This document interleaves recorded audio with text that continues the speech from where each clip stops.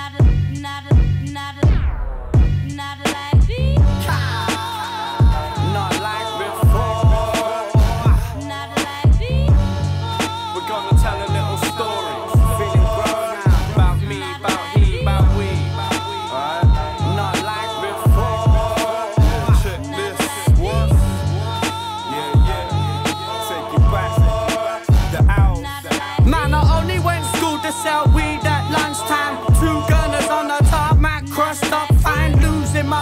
different lines, no attendant sign. Make the habit mine of any drug I can find. All I knew about was crime until I dropped a few shrooms, made a few tunes. Me and BVA coming real soon.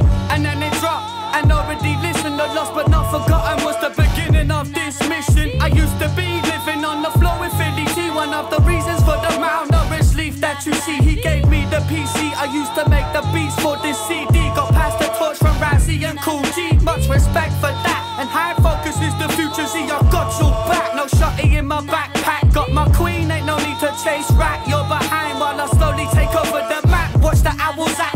Many things have changed since the old school days. Running round on train tracks, spraying up the trains. Picking up an eight bag to blaze it in the day. Now I smoke a little less, but it's Hindu Kush. Hey take you back for a lesson. Way back to the bricks, the mass open max sessions. Avarice spotted me, thought that I was repping. Then we met a little later at the speakers corner Mecca. They took me to a studio in Queens Road, Peckham. Recorded force-fed imagery, it seemed that it was destined. They ain't seen them in a couple years because it's still my bridge and can't forget about the man who brought you in for a second. Like 30, certified G, the Mac veteran. One one me with beats from his collection. Got mad nice on the decks at every damn event, son. Also, Cash had our back, we rinsed up the shows and that. Supported Dare the rugged man, that was classic fact.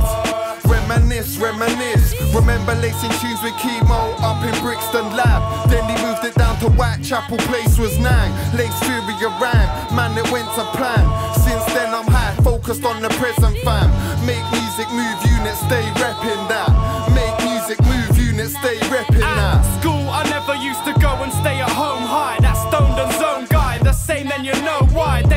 I wasn't really concerned with that. Mainly went to sell 10 pound sacks and chase rats. Dropped out and went back, but I still wasn't focused. Started rapping on beats about how we be the brokest. Job lost but not forgotten, then was World War 3.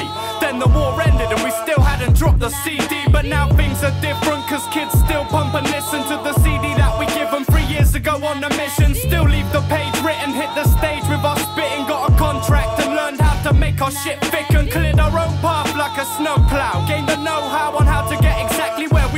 never go down and now with that storm on your horizon. With more tracks laid down than a back when I heard Slick Rick and Dougie Fresh. I was eight, used to play the vinyl when I dubbed cassettes. I spent my teen years weeded out past high with Gang Starr, Wu Tang, Tribe, and the Pharcyde. I can't lie, I was shy hitting open mics as a kid, but the studio I was smashing it. I had my first record out, I was 18. Toured with for life, for that as like a daydream. Shedded my innocence, then started to grow wise and grow flow wise. I hooked up with low life. Got some guidance and applied it, had confidence with Kashmere and goes toward the country and the continent. But still, I had to keep a 9 to 5 to keep the bills paid and quit the weed just to try and keep my mind alive. 16 bars is not enough time to write my entire life. This is just one installment. Now I'm a proud father, grown, responsible. Learned over years, hate kills, love conquers all. So I look to the future after stepping back. Make music, move units, stay reppin' that, reppin' that, reppin' that, reppin' that. repping now.